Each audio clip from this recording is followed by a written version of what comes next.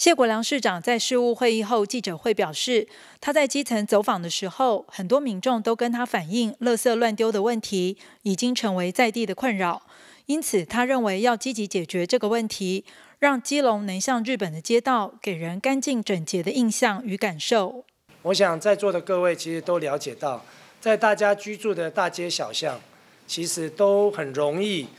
看到垃圾。比如说，我们在跟基隆的民众。在闲聊的时候，很多民众都很向往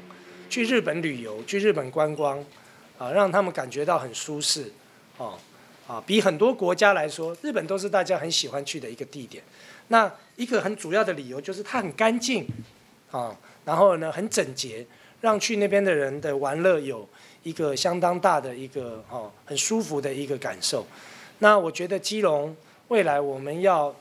跟日本这样子的一种先进国家，哦，要来好好的学习，就是要把我们的整个环境都能够打造的更干净、更整洁。那靠的一定是要跟市民朋友大家通力来合作。至于要怎么来落实改善乱丢垃圾的问题，市长谢国良与共同出席记者会的环保局长马仲豪也表示，首先会透过拍影片来加强宣导。另外，也会从提高罚还基准与科技执法的方向来推动。我觉得宣导还是相当重要的一件事情，所以我们会呃要拍一些这个呃让人家有感同身受的宣导短片。事实上，宣导片啊，其实呃我以一个电影我曾经看过，而且很喜欢，就是十二夜哈啊那时候来拍一个电影。事实上，事实上改变了整个我们国家对于这个动物动保的一个政策。好，所以我觉得应该要让市民朋友透过一些微电影或短片，深刻的了解到，其实垃圾现在是我们基隆市的整个城市跟家园里面很重要的一个问题。那一定是要积极的来改善。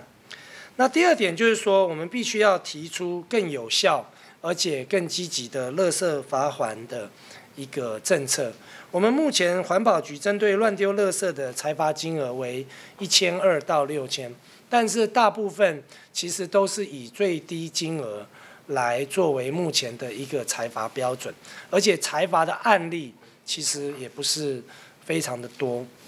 所以我们认为说，今年这个是绝对会列入一个我们现在非常重大要加强的议题。那我们也会定定裁量，提高罚还基准，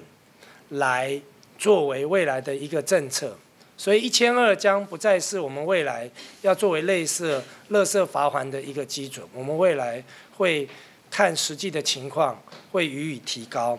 那第三个就是，我们也要加强科技执法，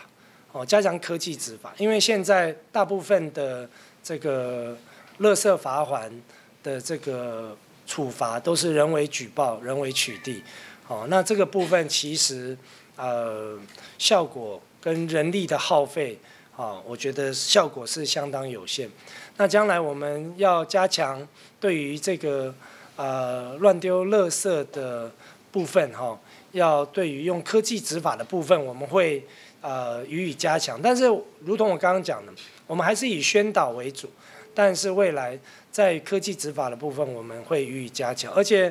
大家都知道，如果要做科技执法，要建制这些设备，事实上对政府来说也是一个负担。那我们也不排除跟民间企业合作，共同建制，来降低啊政府本身对于这个乐色科技执法本身所需要的公务预算。如果透过民间呃相关的企业来进行合作。我觉得可以，啊，希望能够有效的